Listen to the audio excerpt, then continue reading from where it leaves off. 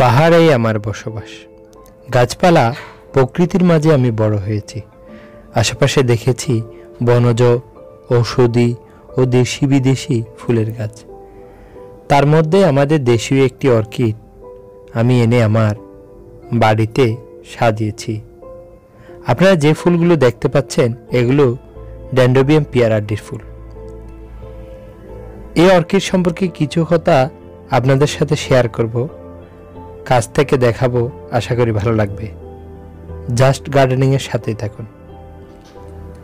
বন্ধুরা, এই ফুলগুলো দেখতে পাচ্ছেন? এগুলো ডেন্ডোবিয়াম পিয়ারাড্ডির ফুল।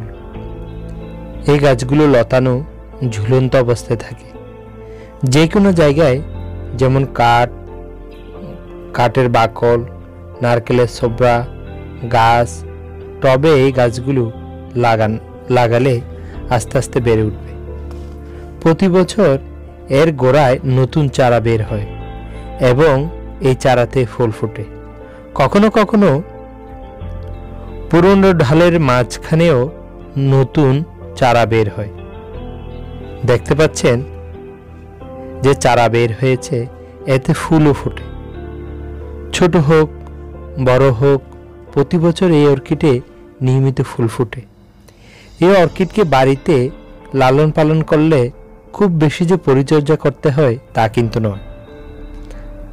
আমার এখানে আপনারা দেখতে পাচ্ছেন আস্ত নারকেলের উপরে অংশগুলো তুলে এতে অর্কিডগুলো সেট করে দিয়েছি এবং হুবহু প্রকৃতির মতো এতে বেড়ে উঠেছে। এতে ফুল ফুটেছে অসাধারণ।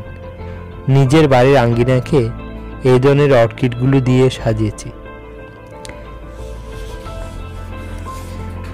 যেমনিভাবে টবগুলো সাজিয়েছি, তেমনিভাবে আমার বাড়ির পাশের গাছটিকেও সাজিয়েছি। এখন আপনাদের আমার বাড়ির পাশের গাছটিকে যেভাবে সাজিয়েছি, তা আমি আপনাদের এখন দেখাতে নিয়ে যাচ্ছি। এখন আপনাদের দেখাচ্ছি যে আমার এই গাছটি সেজে আছে ড্যান্ডোবিয়াম পিয়ারাড্ডির ফুল দিয়ে। প্রায় গাছের অর্ধেক অংশে ড্যান্ডোবিয়াম পিয়ারাড্ডির ফুল আপনাদের কাছ থেকে দেখাচ্ছি। দেখতে পাচ্ছেন ড্যান্ডোবিয়াম পিয়ারাড্ডির ফুলগুলো সুন্দরভাবে ঝুলে আছে। অসাধারণ। ফুলগুলো আমার বাড়ির আঙ্গিনায় যেভাবে শোভাবর্ধন করবে, তেমনি আমার মনকেও করেছে প্রফুল্ল।